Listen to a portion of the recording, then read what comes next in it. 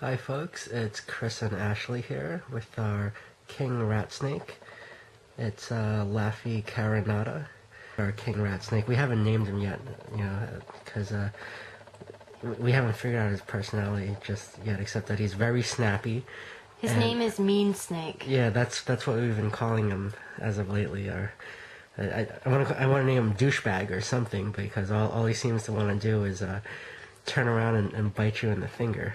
Um, but as you can tell, uh, he, he's very different from uh, our, our other snakes in regards to personality, and you know most people have said that they, they don't make the most uh, ideal pet, you know, because they're they're a little bit persnickety, as as someone had um had called him, and I, I think it's it's probably a, an understatement to say the least. Their their their instinct to protect themselves and to uh, attack is unlike any other normal snake that we've ever seen um, in terms of uh, pythons, uh, boas, king snakes, milk snakes, and, and regular king snakes. That that is Sorry, I hate to interject, but you might want to move it out now. sure.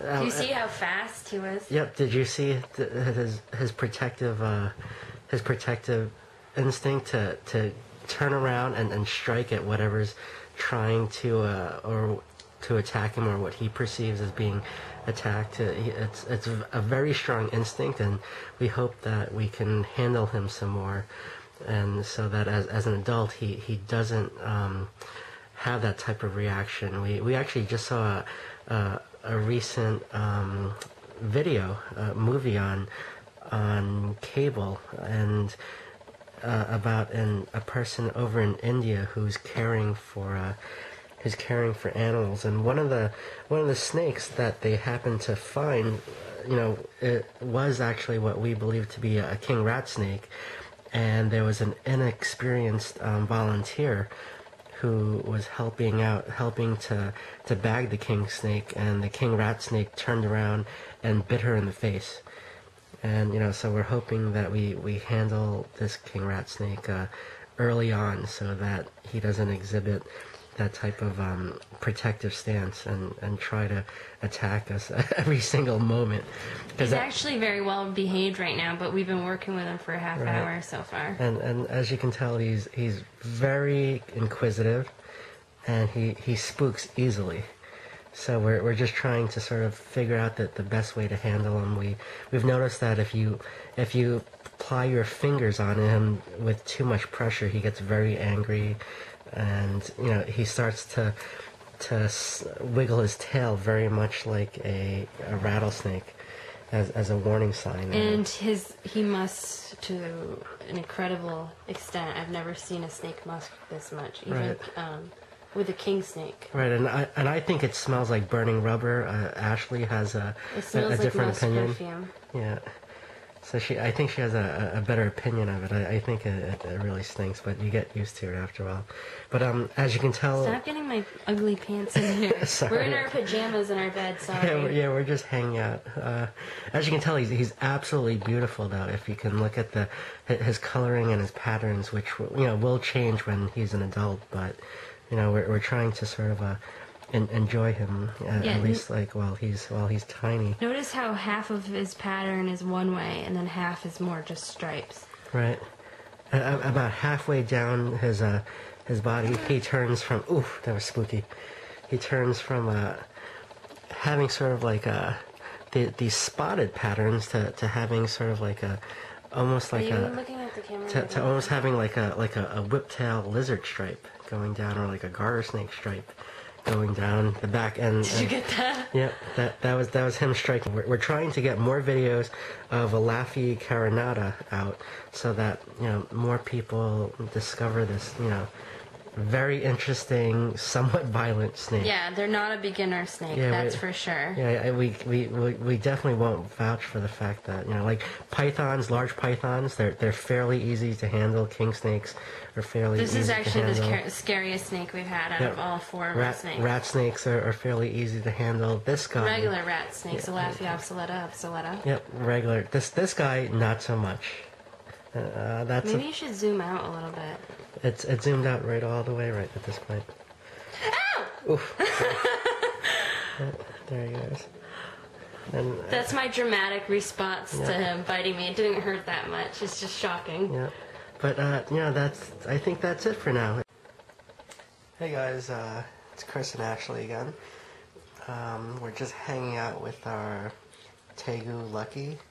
He's a a blue Tegu, but I, I think there's some debate as to whether or not that's really anything different from a, a black and white Tegu.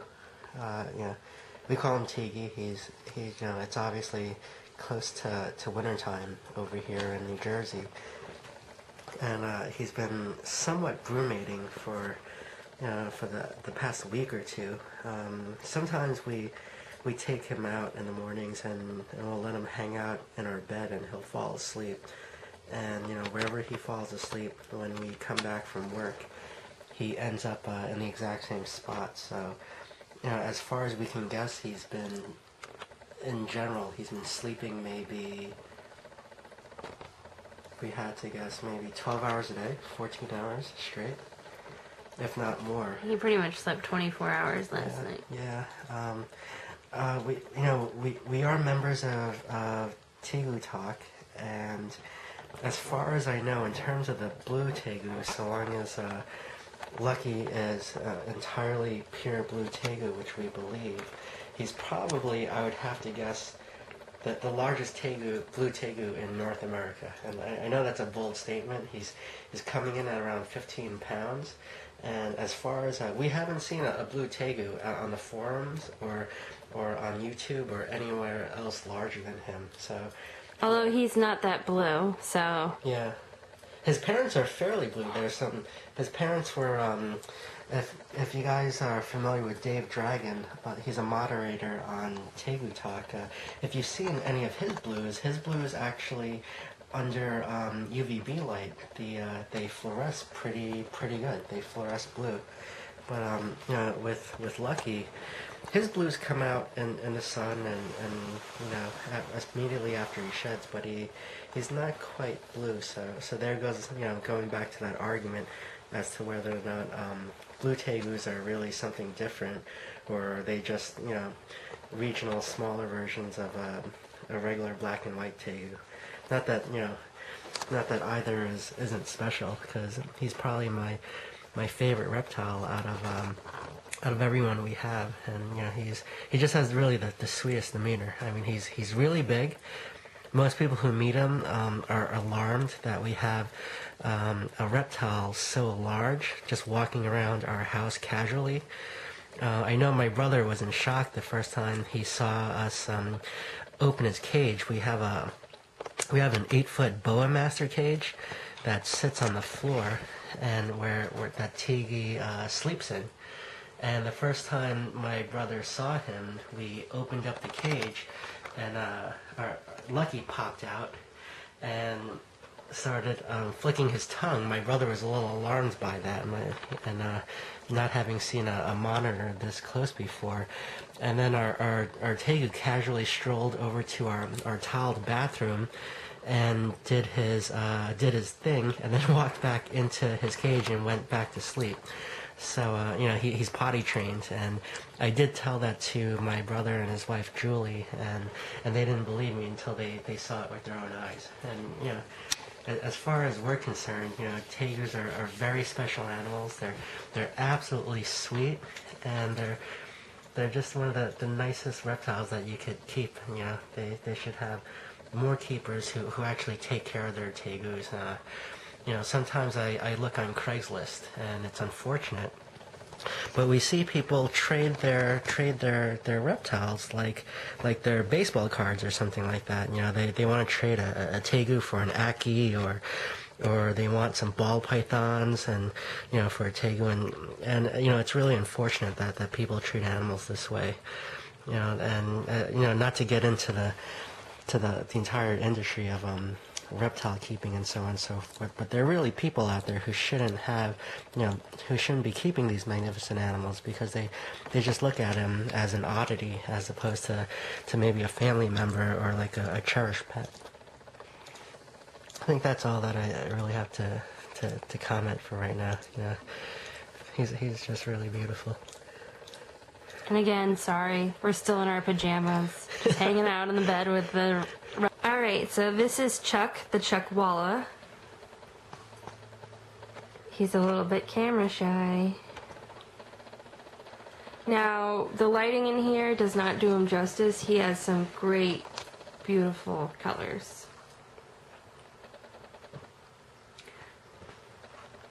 Now, by now, you're probably wondering what's wrong with his face. Well, when we first got him, we were told that he was captive bred, but I kind of think that wasn't exactly true.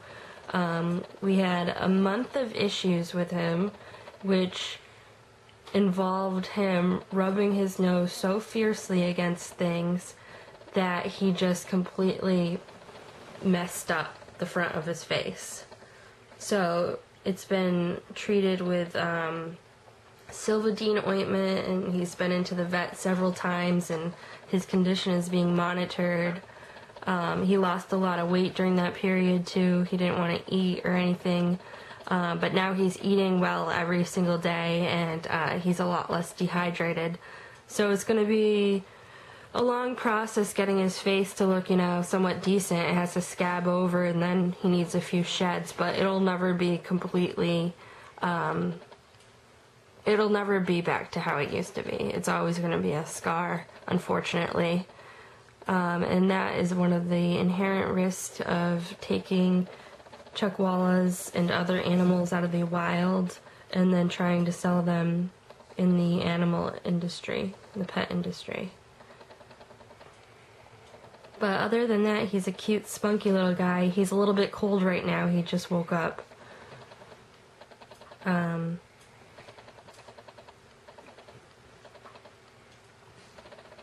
these guys are um, in the Iguanidae family. They primarily feed on vegetables and um, dark greens and, and other vegetables, and then a little bit of fruit. Um, occasionally, we give him super worms, which he does love, to just try to get some weight on him. As you'll notice, he's really skinny right now. Um, but it's not really good to feed any sort of iguana, anyone in the iguana family, uh, too much animal protein because it's been proven to mineralize their organs. So you really need to limit it. Chuck. His name is Chuck, the Chuckwalla. And not too original there, huh?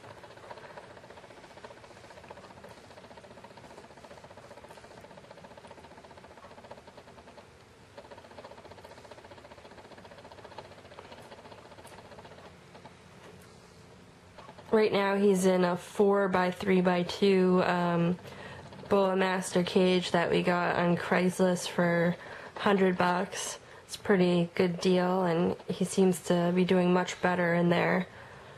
Um, originally, we had him in a 40 gallon breeder as a temporary fix, and that was just a disaster.